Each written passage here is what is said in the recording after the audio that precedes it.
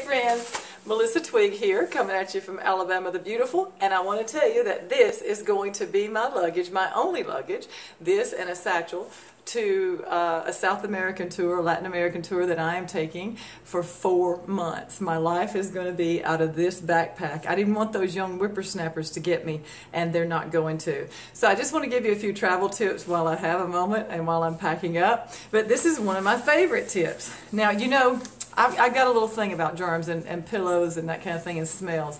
So I decided to get one of the allergy-free pillowcases from Walmart, and I'm going to take it from place to place. We stay in four different countries. Um, of course, we visit all the countries around that are safe, but we um, stay in four different countries, so four different beds a month apiece, and I wanted to have at least a cover on my pillow. So the problem is, is white, and you can leave this when you go to a hotel or to an Airbnb, which is where we'll be. So I decided that I was going to let my family and friends and myself write all over it so that I would not leave it in the hotel room. And it's got a lot of really cool things on here. It's got be bold. It says embarrassment is either quick to fade or makes for one hell of a story at cocktail hour or in the retirement home. That's my quote, by the way.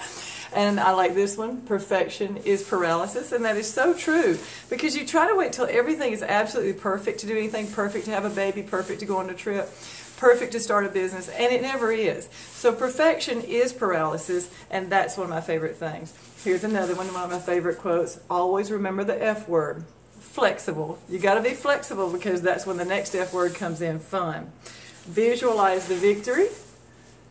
And I'm going to have my boys and my um, family and a couple of close friends just put a little sign signature on here just to make me feel nice at night. And I also decided this would be a fantastic thing to do as a parent too, because right before a child goes to sleep, they see all these wonderful things that you feel about them. Here is my favorite part of the